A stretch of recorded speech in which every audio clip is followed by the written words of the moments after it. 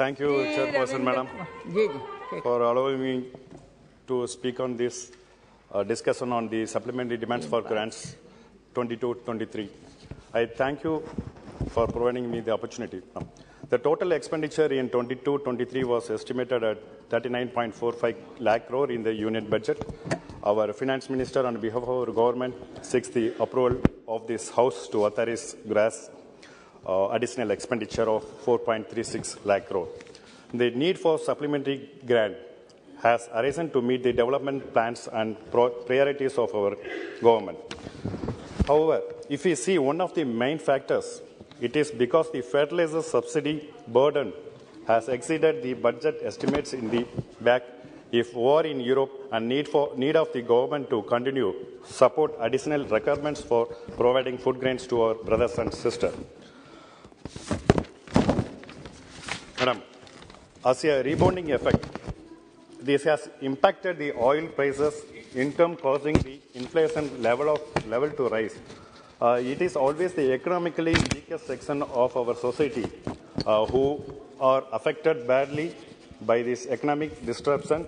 It is hence the duty of the government to provide the population with a support system, at the same time improving the macroeconomic parameters of our economy.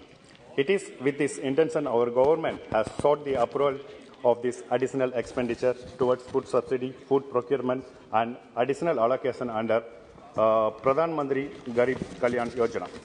As approval has been uh, sought for expenditure of the Ministry of Petroleum and Natural Gas towards payment of LPG subsidies to oil marketing companies and LPG connection to the poor under Pradhan Mantri Ujjwala Yojana. Despite volal- volatility, the Indian economy has shown extreme resilience. In the past few months, measures have been taken by our government and the Reserve Bank of India as well as uh, to curb uh, domestic prices of key commodities, which helped in cooling inflation.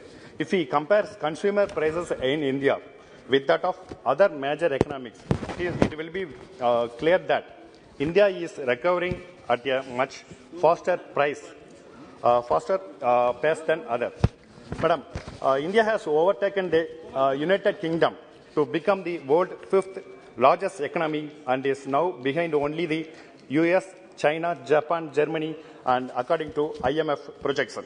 A decade back, during the UPA rule, India, India was ranked 11th among the largest economic, economics.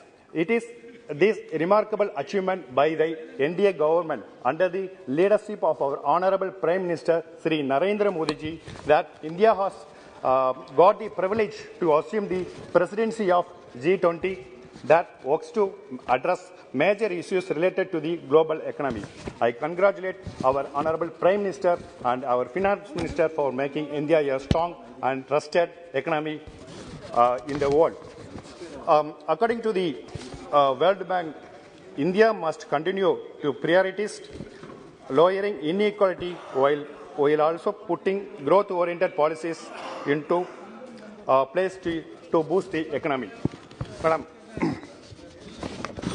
even even in terms of economic growth, India is projected to be the fastest growing among um, other economics, according to the IM, IMF uh, latest World Economic Outlook report, as per the uh, report.